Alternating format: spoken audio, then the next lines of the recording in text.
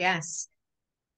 Ah, hello. My name is Esther Sanchez. I'm a sales director with Mary Kay, and today I get to talk to you about glam look. So I will tell you, if you've been to the classes before, whether as a guest or a consultant, you know that we've done eyes, we've done the flawless look, and we've done the contouring and defining.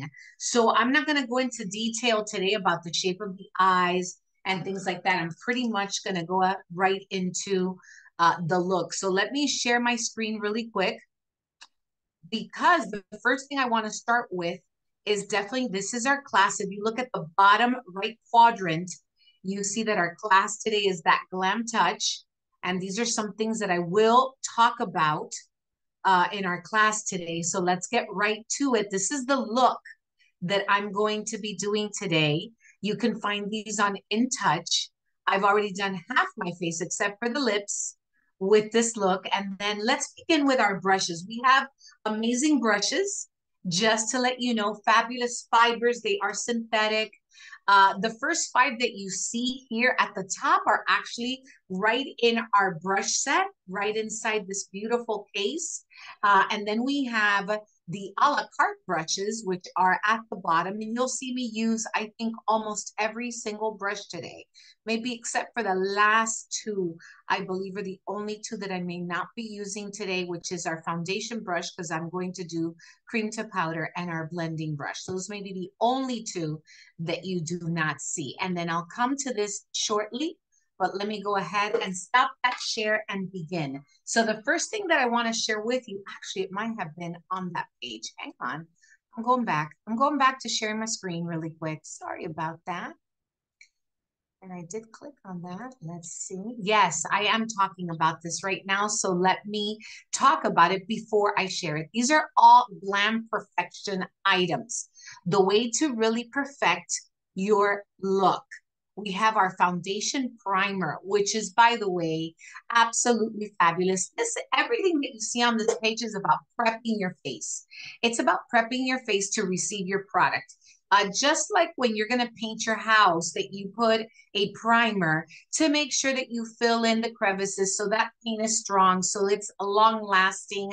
Same thing with our foundation primer and our eye primer, which is right next to it. At the bottom, we have the uh, wrinkle filler, which is great to put anywhere that you have a wrinkle, but also especially those lines that some people may get around their lips. That way, your lipstick does not run anywhere or you know even though your liner helps you a lot with that but it helps with that uh, preventative uh, feathering that we can get in the lips and then the one all the way at the bottom to the right is our instant puffiness reducer where you see instant results. Literally, your eyes could be like a little balloon up here. And when you put that on, it's like letting the air out of the balloon. You just want to give it a little bit of time. Now, you'll see me apply the top two that you see here are two primers uh, today, but I just wanted to quickly talk about those. And then, yes, this I will come back to. So let me go ahead and this is our fabulous primer right here. I'm going to go ahead and I'm going to apply it. I do have another one. It's just there's not a lot left. Now, like I told, I do have a mirror here on the side. I told you I had done half my face, so I'm doing the other half. And basically, I put forehead, my nose, my cheeks, everywhere that I really want, like any lines, uh, any um, pores to be filled in by that primer so that when I apply my foundation, it is like perfectly set and ready to go. So I've got my Pro palette here, which is so fabulous. You can see I have it set up. Uh, what you see here is my pressed powder. So when I talk about powders, I'll, I'll re reference that again. Here is my cream to powder foundation right here. My bronzer is here, my highlighter. I do have cheek colors. I'm basically, and some eye colors. I'm going to do this top row with this cheek color today. The top row with this cheek color today. So let me go ahead and get my um, little blotter right here, which is going to help me with that cream to powder foundation. You're going to see me blot that on. And what I love about that, we really do have, I love how our Samara said it. Gosh, I'm trying to remember now exactly what she said, but you have a beautiful selection. It's like a menu of foundations. Uh, you're seeing me put the cream to powder on today, and you're going to see the other, obviously, half of my face start to look complete now. Yes, a foundation wardrobe. That's exactly correct, Samra. So if you've used the cream to powder, if you're a consultant and you've used the you've used the cream to powder, or even if you're a guest and you've used it, please put in the chat or put another foundation that you've used. I love our uh, regular foundation. I use it daily, by the way, our performance preference foundation. I use that every single day on my face, and I absolutely love it. What I love about our foundations, our performance preference, and this one, our cream to powder, is that they are layerable. Now, with the cream to powder, you get a lot more coverage. So it's great for like a glam look like we're doing tonight. So I love, love, love, love, love that. So we've got that on now. I'm going to start putting some of these things to the side. And so another thing that I like to do that I'm going to showcase for you. Um, we already talked about this. By the way, this was our um, filler. This is our filler. And this is our uh, puffiness reducer. I did have those right here to show them to you in case you are interested in talking about either one of those to your consultant. I love, this is a finishing spray, which I will mention again, but I love to just apply a little coat after I've done my foundation because finishing spray can actually be applied at different moments throughout your makeup application so that you set what you've done so far. And so uh, we do have for anybody who experiences oiliness, we have our amazing oil mattifier. My skin is more a little combo, but in some areas getting drier. Um, and so our oil mattifier is great because what it's going to do, it's going to prevent, you're going to put it before your makeup and it's going to prevent that excess oiliness. Now, however, if you're like a super oily girl and you do use this, but still maybe like at one o'clock in the afternoon or anything like that, or you go to a party and you sweat, we have our fabulous, these sheets are fabulous. Um, and I love them because you pat them on, you pat these on, and what's great about them is that they won't remove your makeup. They'll remove the excess oil uh, and they won't, these are beauty blotters. I was trying to remember the name. Sorry about that. You know how sometimes the name will escape you? These are beauty blotters. So it's great to pat and they won't remove your makeup, but they will remove the excess oil. I know I love these as well. Fabulous, especially when you've been dancing all night with your glam look.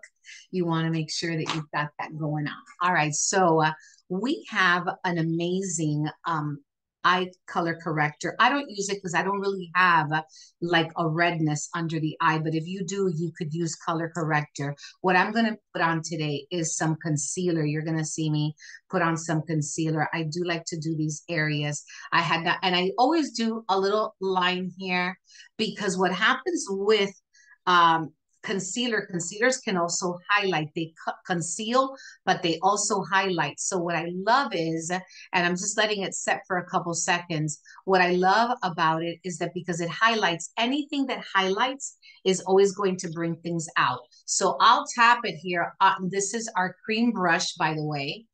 Uh, it's in that a la, a la carte section. But what I love about it is it'll help that line kind of pop out a little bit and then uh, also here in my under eye area, I love to highlight that section. And then, as you know, I have an oval face.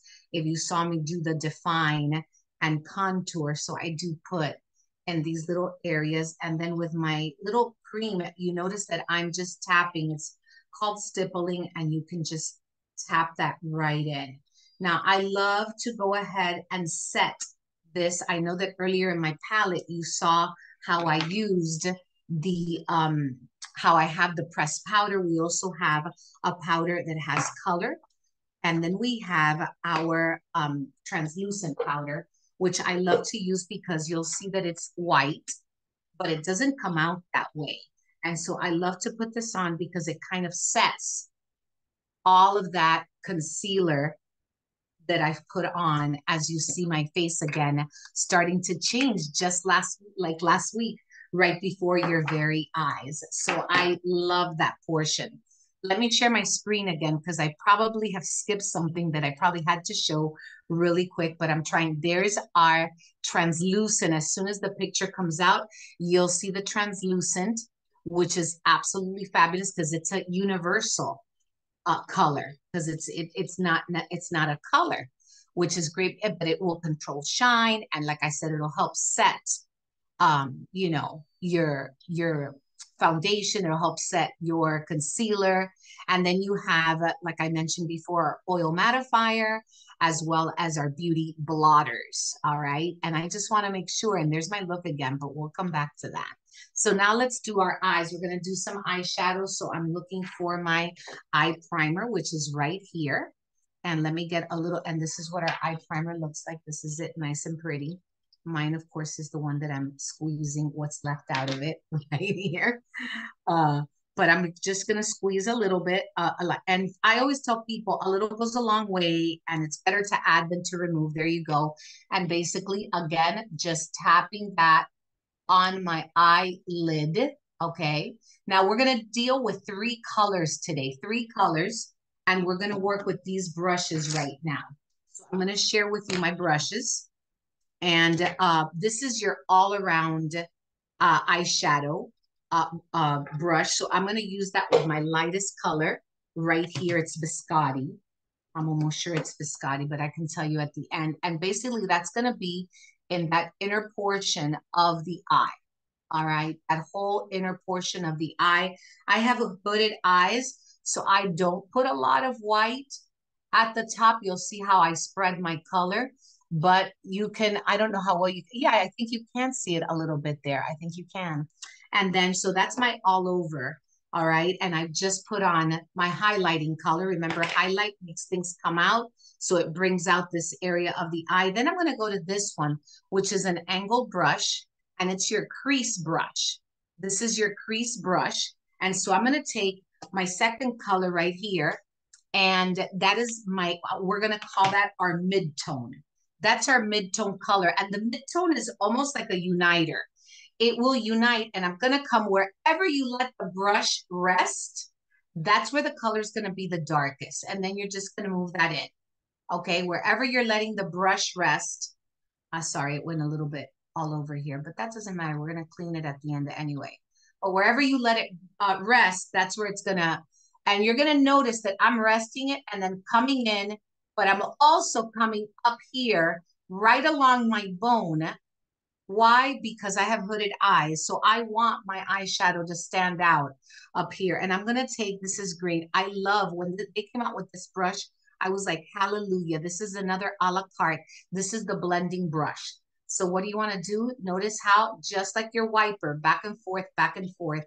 And it gives it that beautiful. And then you're going to bring this in a little bit, just like that so that now you start to see how the eyes are coming together. All right, and I'm actually going to add just a tad bit more because this is a glam look. So we don't want to go light. You know, it's like, you know, we want to go dark. This is glam. So we want to glamorize it. But now I'm going to take my smudge brush. This is my smudge brush. I love it. Look at the tip. If you notice, my blending brush is loose, long and loose. This one is a little bit not as loose as that one. This is my all over. My angle one for the crease has the angle for the crease of my eye. And this one is tight, knit, and pointed. So I take my last color here, which is, we're going to call it our accent color because it is the darkest and it's going to accent. All right. So I'm going to bring that one at the end and you're going to see how uh, just like Samra did, if any of you saw her, it's like a little V that you're creating here at the end of the eye. And you want that to be the darkest point right there. And always remember that dark colors are always going to bring depth to the eye, definition and depth. So that's what I'm doing here. But look at what I'm going to do now. I'm going to take that, again, my blending brush, and I'm just going to blend that. Just blend it. I'm going to blend that. And you're going to see how nice and even, woohoo, the eyes look now, don't they? Right? now Esther looks like she has two eyes that are fully coordinated. And what I love to do with my all over brush, I like to take a nice, uh, this is uh, crystalline, that nice little crystalline, and I'm going to tap it. And I put a little bit of that in just that inner eye, because remember, it's a glam look. So I want that inner eye to kind of like really like poof, stand out baby. And so we've covered now. I always want to take this one, which is the double-sided for the brows. And I'm just going to comb my brows, even though I haven't done them yet. I just want them to take their formation so I can start to look good. And then I'm going to move now into eyeliner, people. We're going to get this done today. I'm not going to run out of time. Uh, we're going to take our eyeliner, new eyeliner, which is, by the way, fabulous. I want you to know that amazing. It's creamy. It's glides on. It's waterproof. And so I'm just going to start feathering it in here and bringing that out. And I hope that you can kind of see me there. I know my hand is a little bit in the way, but you'll see it as I'm finished. Uh, I'm just feathering. Oh, you can see me. Perfect. I'm going to feather that out, bring it out. I'm going to bring some closure here. You know me, I like that closure. Plus, it makes the eye bigger. It makes it pop. I don't take it all the way in. But what I am going to do with that, remember that smudger brush with the little point on it? All right, that, that I did my accent color the darkest. I'm going to go ahead and I'm going to just add that color and bring all of that together for my eye. So I just have a little bit of that accent color along with my liner. And, and you know, this one's looking a little bit light. Let me pull that in there. There we go. So I look nice and even. Voila. You see that, ladies? And I think so we had a gentleman on as well. But uh, you see how wonderful that looks? I'm looking nice and even. And I'm going to take that concealer, the cream blush, the cream brush, sorry, and what I'm going to do is I'm going to take the end of my eye and I'm actually going to clean it. Look at that. So that that comes out nice and lifted because you know we're all about the lift. We are definitely all about the lift. So we're going to do a little bit of brow. And you know I like to use both. I like to use our brow pencil to fill in and give some shape here because I do have a little space here that I like to color. Uh, I don't need that much of a lift in this one. I also love what Sa Samra said. Your brows are sisters, but not twins. Samra, that was like explosive in my head. And this is our little brow tint right here. Okay. And basically, what I use that for is to control. I don't know about you, but my brows love to go like all over the place. They love to wander. And so what I like to do with this is because it is uh, a tint, it combs it, but it also fixes them there. You know, it like keeps them in place. And I like that because if not, the hairs are like going everywhere, all over. All right. And now we're going to go. This eye has mascara, but this one doesn't. I'm using, it. again, we're doing a glam look. So I'm using our um, Fanorama mascara. That's another thing. We have a plethora of mascaras. And what I normally do is I twirl my wand, no in and out, because we don't want to let in bacteria. And we do not want our um, mascara to dry. If you know how long we can keep mascara, please type it into the chat right now. When do we have to renew our mascara. Just change it up. Who's going to put it in there? Ding, ding, ding. Somebody put it in. And basically, I do to the top and the bottom. But I love our Fanorama mascara because it just brings the world. You know, it, it, it elongates your lashes. It separates your lashes. It makes them thick. So it does like all the others all put together. And another, yes, three months, excellent. And then the other thing is, is that you can add coats to your mascara. Like I already put one coat. This is a second, especially for a glam look. You want to add coats to your mascara. And you're going to see the incredible, fabulous height. Before my, my, my note, look at that Like, look at that, people, right? Can you see that? Like the eyes are like, this eye is always smaller than this one, by the way. Again, even the eyes, they're not twins. They're sisters, but not twins. I love it. So, so far we have taken care of our foundation, our concealer. We've done our eye, our primers. We've done our shadows, our liners, our mascara. Let's do a little contouring, which we did last week together as well. Let's do some of that contouring. You remember the brushes. I'm going to use this part of the brush for my bronzer and I'm going to go in there and just right below my cheekbone and back. Uh, always giving it uh, about two fingers from that end point and just bringing that. I went a little bit low here, but I can fix that. And you know, it's okay for a teacher to have to fix something because that lets the student know. And look at already, look, look at, look at the change, people. Look at it, the magic. Uh, I think it's great when a teacher says, "Oh, I need to fix that." Why? Because everybody can learn to do this. If only the teacher could do it, that would be no fun. And so that's my bronzer right there. I'm not a person who needs to put here, but we'll put a little bit here. But you know, I do like to put here just to bring this in because of course I'm a little older. And so, uh, you know, I like to help that out, give it a little bit more of a chisel. Correct? Yes. And now I'm going to go for my cheek color. Ooh, that juicy peach. I'm using Juicy Peach just like you, Samra. I love that Juicy Peach. Sometimes it picks up a little bit extra so you can tap it off. You don't want to blow on it. And you're going to come basically, again, about two fingers and you're just going to again work that back. But you know, this is a glam look. So we can't just stop at a little bit. We got we got to glamorize this uh this this face, right? We got to glamorize. And notice how then we just blend that. You want to blend it together. You don't need a line that separates each step. You want to blend. So never be afraid of, you know, moving that brush up and down, up and down because we do want to blend that. Want to make sure that I look nice and even there. Yes, beautiful. And so never be afraid of the color. I love color. I love color. because color brings you to life. You know, don't be afraid of the color. Let me do this here. There we go. Can always fix everything. Yes. We have two minutes left. Just want to. Okay, perfect, perfect. And so now I'm going to do a little highlighter here. I like to do a little highlighter in those key areas for my shape of face. So that is beautiful. Look at that. I do want you to know that our brushes are synthetic, but we've got this amazing brush cleaner. You can use the brush cleaner. You can use the bar of soap just to make sure you clean those. You should do that weekly. Uh, and that's very important. It's a great, and I love how it smells. I don't know about the rest of you that have used our brush cleaner, but I love the way our brush cleaner smells. And so here we go. We got to take care of the lips. I didn't have time to take care of the lips last time. I'm going to use our amazing waterproof, just like our uh, eyeliners, that waterproof. I'm going to use it to line my lips.